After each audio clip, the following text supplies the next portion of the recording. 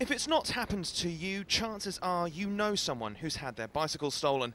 It's a common problem in big cities like the Chilean capital, Santiago. But now three students here think they finally made a bike that's unstealable. Cristobal Cabello and his colleagues call it the Yerka Project. So basically you lock up your bike on a lamppost, tree or fence and you open up the lower part with this pin.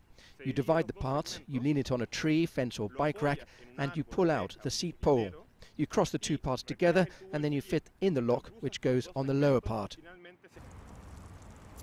They came up with the idea after having their own bikes stolen more than once. The idea behind the Yerka project is that breaking the lock makes the bike useless, which defeats the point of stealing it.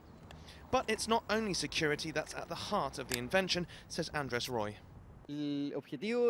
Security is its raison d'etre, but we also wanted to make it comfortable, a traditional bike design. We didn't want users to have to carry around a heavy lock either, and our technology can be adapted for any kind of bike electric, gears, no gears, anything. There's currently only one prototype, but Roy and Cabello say they've got plans in the pipeline to improve it further. The details of those, though, are under lock and key.